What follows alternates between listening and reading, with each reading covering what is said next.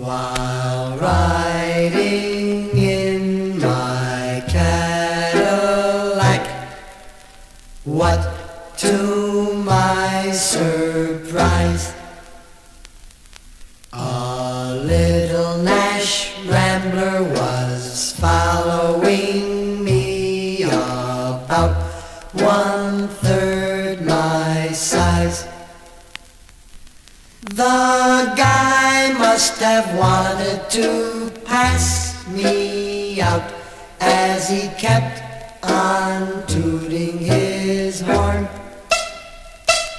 I'll show him that a Cadillac is not a car to scorn.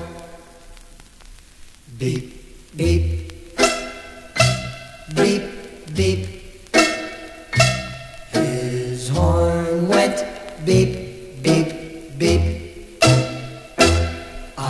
Pushed my foot down to the floor to give the guy the shake. But the little Nash Rambler stayed right behind. He still had on his brake. He must have thought his car had more guts as he kept on tooting his horn.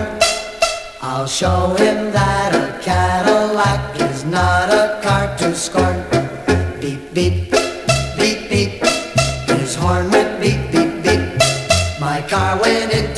passing gear and we took off with gust. Soon we were doing 90, must have left him in the dust. When I peeked in the mirror of my car, I couldn't believe my eyes. The little Nash Rambler was right behind. I think that guy could fly. Beep, beep, beep, beep. His horn went beep, beep, beep. Now we're doing 110. This certainly was a race.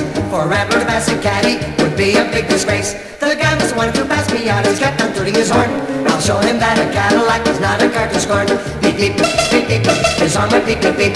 Now we're doing 120 as fast as I could go. The Rambler pulled alongside of me as if we're going slow. The fella rolled down his window and yelled for me to hear, Hey buddy, how can I get this